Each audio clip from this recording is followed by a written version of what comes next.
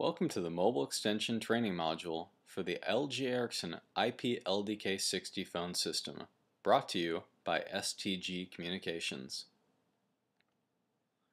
Mobile Extension is a really cool feature because it's more than just call forwarding.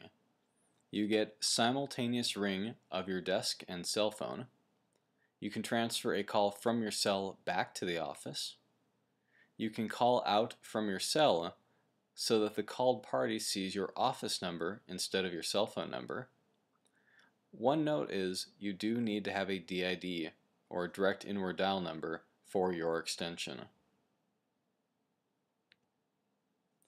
The first step is to register your cell phone number. So to do that, you'll press the Trans Program button, dial 33, dial your cell phone number. You do not need to dial 9, but you should use your area code. Then press Hold Save. To activate or deactivate mobile extension from your desk phone, the easiest way is to ask your phone tech to assign a flex button for one-touch access. If you don't have that available, you can press Trans Program, then 34, 1 to activate, or 2 to deactivate. Then press Hold Save. If you have a call out on your cell and you want to transfer back to the office, just dial star and then the extension and hang up.